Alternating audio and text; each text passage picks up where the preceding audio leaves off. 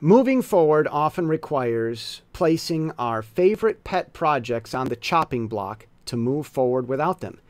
It's easy to see which projects need the axe, but accepting so proves more difficult. Right away, we know what costs more and can't carry its own weight, which projects don't sow good karma, so to speak, and which ones generate the necessary buzz of a freemium business model. The keepers stay afloat, being able to generate lift. Some things need carrying in their beginnings, but you can only carry so much baggage. Axe whatever weighs more than you can carry.